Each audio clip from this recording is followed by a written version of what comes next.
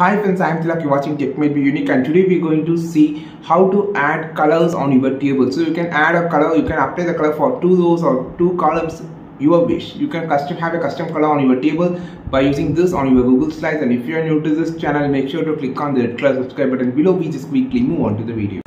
So how to add a color in table in Google Slide, I just going to show in this short video so first of all insert a table. So I just going to insert a table like uh, 3 4 into 4 so I just going to select the table and here you just can change the border color and also the border width.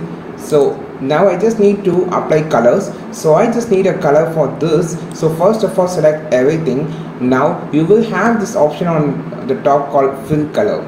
Just click it and you can just kind of fill any color for this box. You can just select it. There is a lot of the color options. Just just click it. So this is this plus symbol which make the color wheel. So you can just adjust the color wheel and you can just choose the color from here and you can also type the code and you can find the color.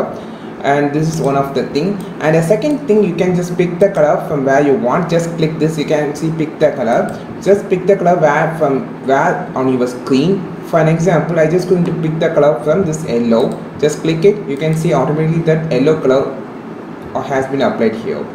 And also you can just choose this and you can have the different colors for this also.